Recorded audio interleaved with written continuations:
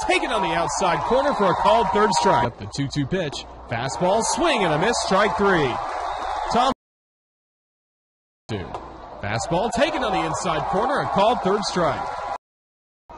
Is 0 2. Fastball, swing and a miss, strike three.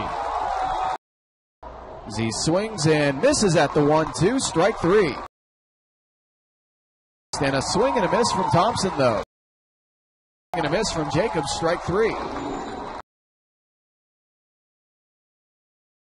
Murray swings and misses at a slider, strike three. Fouled into the glove of Realmuto, strike three, and back swing. They'll appeal to first, and they say he went around strike three. Double digits for Justin Nicolino. He's taken on the outside corner, strike three.